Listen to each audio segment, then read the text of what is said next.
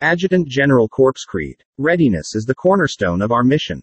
To fulfill the responsibilities inherent to this mission, I will be technically and tactically proficient. I will maintain my personal readiness, both mentally and physically. I will strive to enhance my knowledge, skills, and abilities.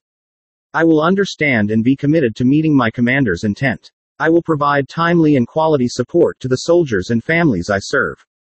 I will be innovative, resourceful, and dependable. I will be the example of strong character and work ethic worthy of others to follow. My actions will speak louder than my words defend and serve.